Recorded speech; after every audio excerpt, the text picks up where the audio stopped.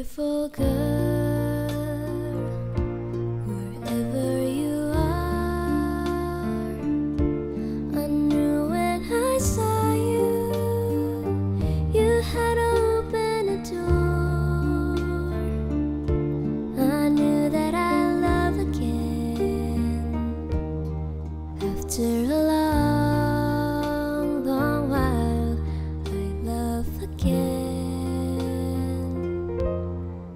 You said hello, and I turned to go,